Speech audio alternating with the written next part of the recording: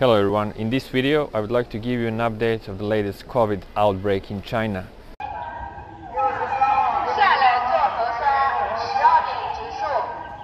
Right now I'm in my compound and that's behind me what you see is the gate which is locked for all, five days already and I'm not sure when we will be able to go out because we already did four tests. Yesterday we didn't do any tests and now today we did again one more test and maybe tomorrow we will have further information of when will we be able to leave. Right there you can see a lot of people asking about new information or just getting some food and fruits and vegetables because the delivery guys are not able to come inside so you need to go to the gate to pick up your delivery.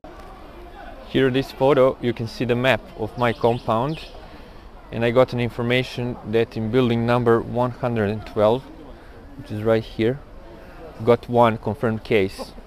That was the second day of the lockdown. And after that day we need to do all all around all again. All the people in this compound need to do the test again. And that's around maybe over 5000 people. And then we did it again and when we finished with the second round of two days then we got information that not all the people did a test. Maybe 400 people did not do the test at that time. And that's why we need to do another round of testing. And then we will see if we have no positive cases then probably our compound will be unlocked.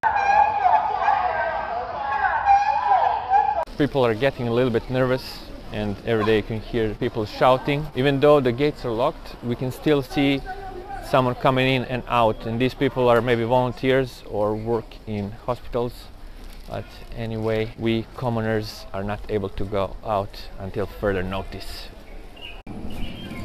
The biggest difficulty at this moment is getting food ordering food online and you need to wait a lot of time and you need to pay big tips to delivery guys so they'll be able to go and pick up your food and bring it here. Now i'm going to show you the food and storage rack for the deliveries Okay, so here is the blocked gate, and on this side we can see the racks for delivery where they can put, and then we go and get them.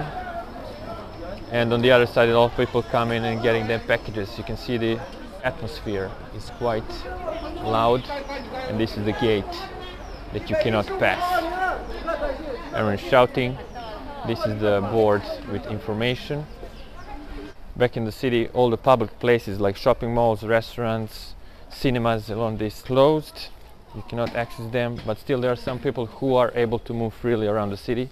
They're not locked but I was not so lucky it seems and for now I need to stay inside and wait for further information. Tomorrow we will do another test and we will see how will that go. Now we're going to go to the second gate and to see how is the situation there.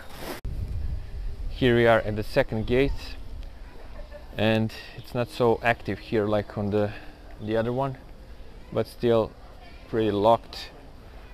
And no one is able to pass. This one is completely cut off. You can see people playing badminton enjoying in sports. But if you want to go out that's not possible. Only thing you can do is to wait for your delivery. On this photo you can see the current numbers in China. And Shanghai is second city by the numbers of COVID infections in this latest outbreak. So it's almost 1,000, which is pretty high, having in mind that before, since the first main outbreak, we had maybe spikes, and in whole China, we had maybe 200, 300 max, and then it went down. And this is the first time we have like almost 3,000 cases, and they're spreading fast. The peak is still not here, in the beginning of March, people were sensing that something is coming.